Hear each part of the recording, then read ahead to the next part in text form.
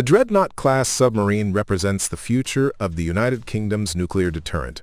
Designed to replace the aging Vanguard-class ballistic missile submarines, SSBN, that have served as the backbone of the UK's continuous at-sea deterrence since the 1990s. Named after the revolutionary HMS Dreadnought battleship of 1906 and the UK's first nuclear-powered submarine launched in 1960, the Dreadnought class carries a storied legacy of naval innovation.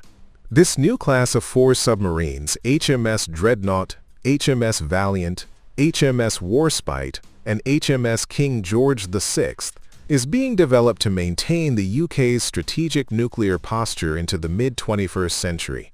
With a projected service life extending into the 2060s, these submarines embody cutting-edge technology, advanced stealth capabilities, and a commitment to sustaining the UK's role as a global nuclear power.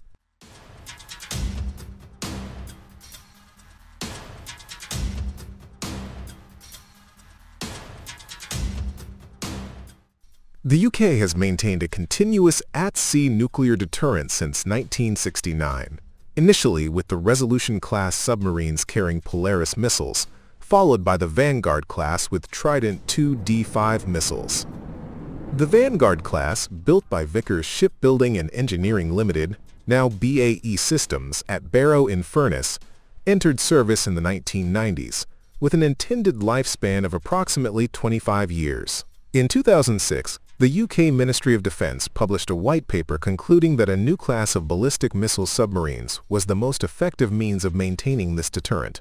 Parliament approved the program in 2007, and after years of concept analysis and design, the House of Commons gave final approval in July 2016 to construct four Dreadnought-class submarines.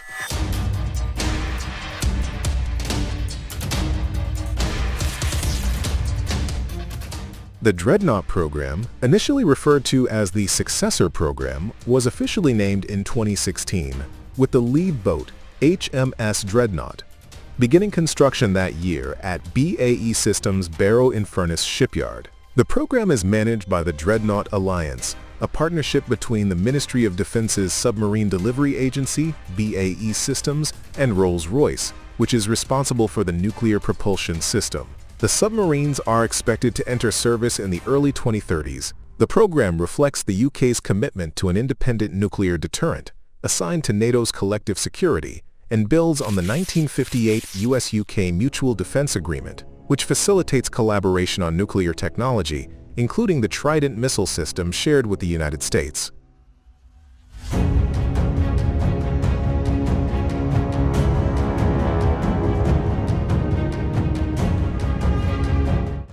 The Dreadnought-class submarines are the largest ever built for the Royal Navy, measuring 153.6 meters in length, equivalent to three Olympic swimming pools, and displacing 17,200 tons submerged, an 8% increase over the Vanguard class. Each submarine will be powered by a Rolls-Royce Pressurized Water Reactor 3, PWR-3, a significant advancement over the PWR-2 used in the Vanguard and Astute classes. The PWR-3, based on a US design but incorporating UK reactor technology, features 30% fewer parts, a simpler and safer design, lower maintenance requirements, and a longer operational life. This nuclear propulsion system provides unlimited range and endurance, allowing the submarines to remain submerged for extended periods, limited only by crew provisions. The submarines feature a highly streamlined hull with a low-profile, raked sail and a double-hull design, which enhances stealth by reducing acoustic signatures. A notable innovation is the use of X-form rudders, a first for British submarines, which improve maneuverability and reduce noise compared to traditional cruciform rudders. The submarines are equipped with a pump jet propulsor, the quietest yet developed for the Royal Navy, further enhancing stealth. The hull incorporates 42.5 kilometers of piping, 13,000 electrical items, and over 20,000 cables, reflecting the complexity of the design. Each submarine will house a crew of 130. A unique lighting system simulates day and night cycles to improve crew well-being during long submerged patrols.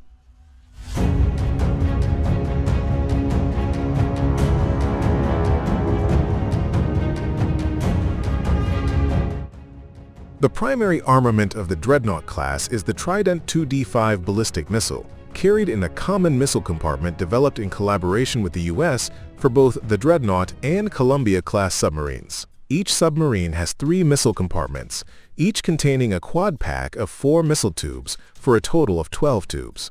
However, only eight tubes will be operational, with the remaining four filled with ballast for stability.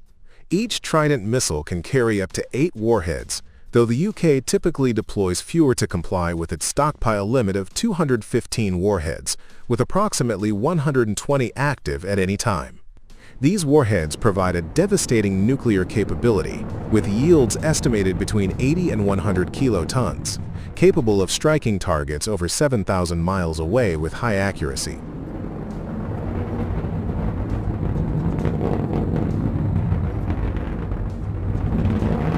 The Trident system also offers a sub-strategic strike option, allowing for a lower yield nuclear response if needed, enhancing strategic flexibility.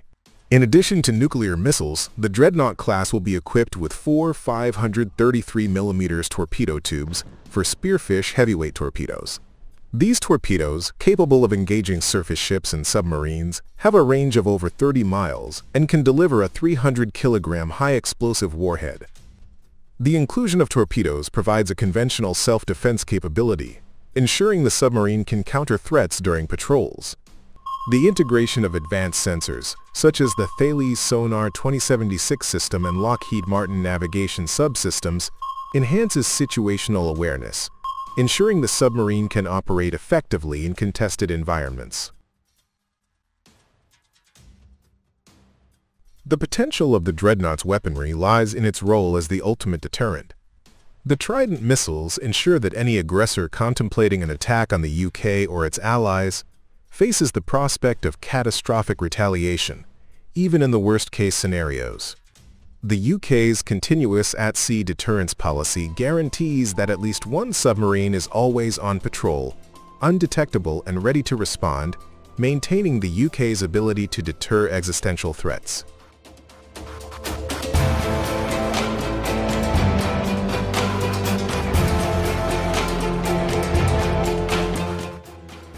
The Dreadnought program is a cornerstone of the UK's defence industry, delivering significant economic benefits.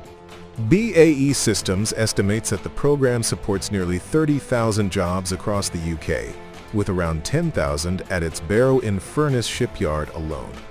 The £7.5 billion supply chain engages 1,500 companies across England, Scotland, Wales, and Northern Ireland, from small specialized firms to major contractors like Rolls-Royce and Cammell Laird. The program drives investment in advanced manufacturing, engineering, and technology development, fostering innovation in fields such as nuclear propulsion, stealth technology, and materials science.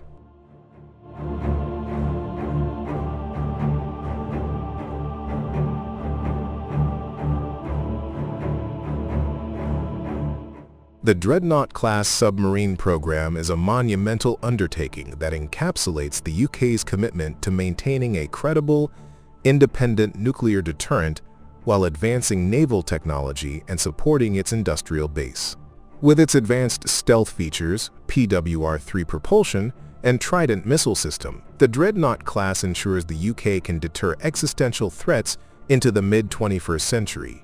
Its economic contributions, supporting tens of thousands of jobs and a 7.5 billion pound supply chain, underscore its role as a driver of British industry. As the first submarine, HMS Dreadnought, progresses towards sea trials in the early 2030s, the program stands as a testament to the UK's engineering prowess and strategic resolve. However, its success will depend on rigorous oversight, robust funding, and continued international cooperation. Ultimately, the Dreadnought class will carry forward the legacy of its namesakes, ensuring the UK remains a formidable maritime power in an uncertain world.